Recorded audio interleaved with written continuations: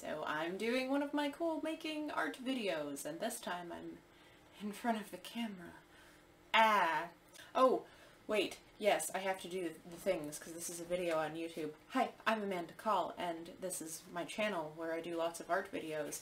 Uh, usually it's just a camera on the thing that I'm drawing and not my face.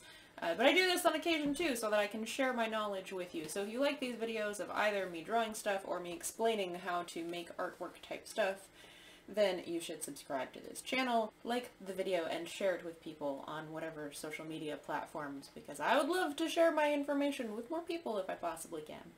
So, uh, one of my favorite things that I like to make and sell at conventions is mini comics. But basically, it's a tiny little comic like this uh, you print it at home or just at your local print shop and you put them together yourself.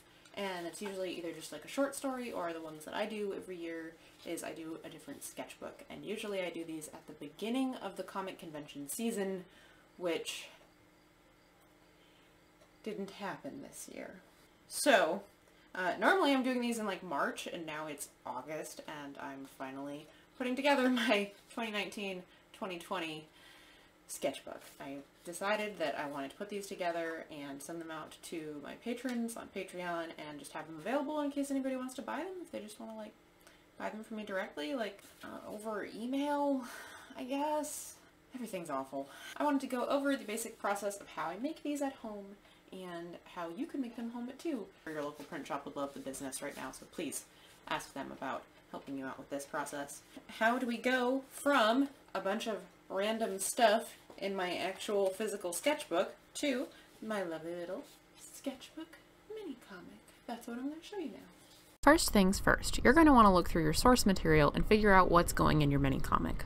For me, that means flipping through recent sketchbooks and marking pages where there's something I want to include. Then you're going to need to scan those images into your computer so you can then clean them up and edit them in the image editing software of your choice. Once your images are cleaned up, you're going to start laying out your content into pages for print. Ah, shit, I gotta explain how you do that. Okay, so when you're making a printed book, you have to think about your pages in multiples of four, since each piece of paper, folded and double-sided, makes four pages in your book.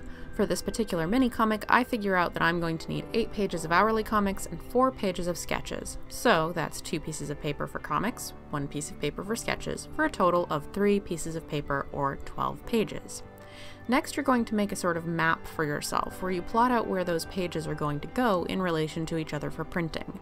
Start by drawing out your total number of pages as sets of two like this. Each one of these divided rectangles is one side of a piece of paper.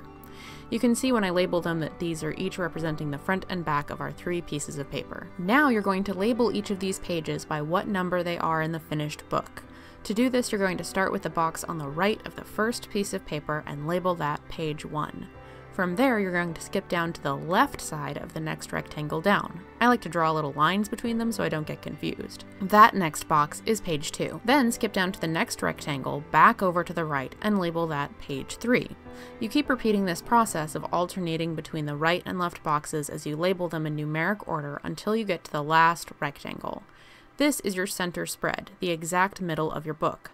Here you're going to start going back up through the rectangles. So you label the right hand box with the next number in your sequence, then jump back up and to the left to continue. If you're doing the diagonal lines to keep your place, you should end up with little X's between the boxes for each piece of paper. Once you have all your pages numbered, you can go through and label them with what content appears on each page. So here I label my first four pages sketches, and then work my way through the hourly comic day pages, making sure that I keep my comic pages in order with the printed pages on the map. It's a little confusing for the first couple of times you try it, but these steps produce an accurate guide for content placement. Now that you have your map, you can go back into your image editing software of choice and place all your images into their appropriate places on each spread. Make sure that you label these files in a way that makes sense to you too, so like paper 1 side A, then paper 1 side B, or something similar. With our files all laid out, we can start printing. I like to print my cover on a piece of brightly colored cardstock using the bypass feed on my LaserJet printer. The cover is also a good place to get your local print shop to help you out with a nice full color print if you prefer. Some people even screen print their own color covers, which is rad, but way more of a process all on its own. I print my interior pages on heavy duty copy paper. It's a good idea to print one page first and make sure it came out okay before you print the whole run of them. Once I have the whole run on one side printed, I flip it around and put it back into the paper tray to print on the other side. The exact way you do this to get the front and back aligned is different on every printer, so you'll need to run a couple of tests with your home printer to figure out what works on your machine.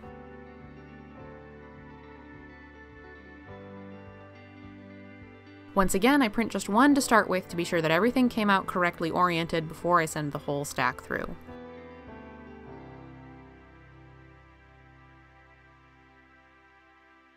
Once you have all your pages printed, it's time to collate, staple, and fold.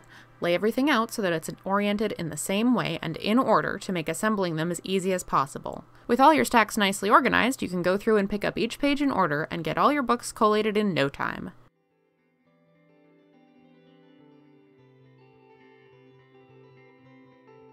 I also like to rotate each stack 90 degrees as I go so they're easy to grab off of the pile for later steps.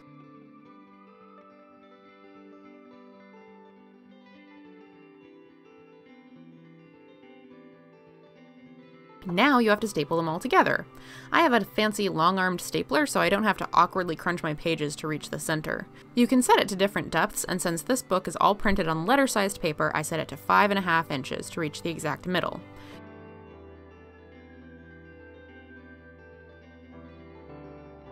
You'll also want to make sure that the cover is facing up when you do this, so that the sharp ends of the staples are on the inside of the book. Repeat this on all your copies.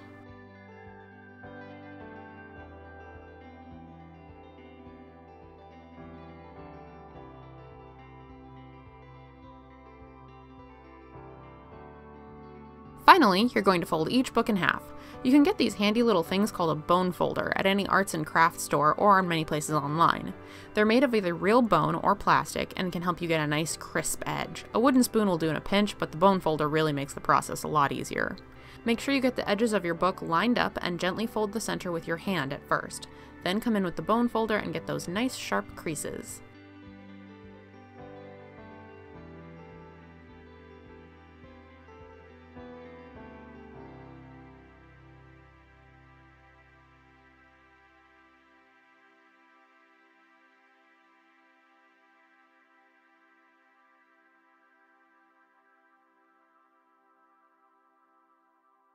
This is the last step to putting together your mini comic. Oh, but you still have to do it a bunch more times.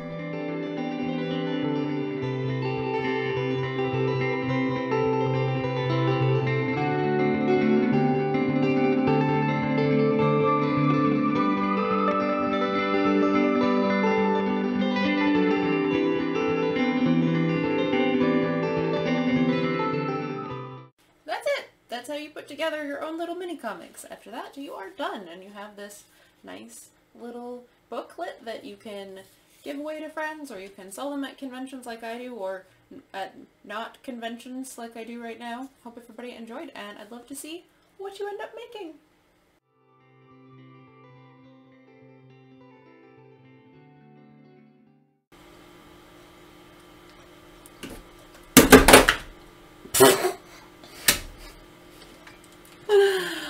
Okay.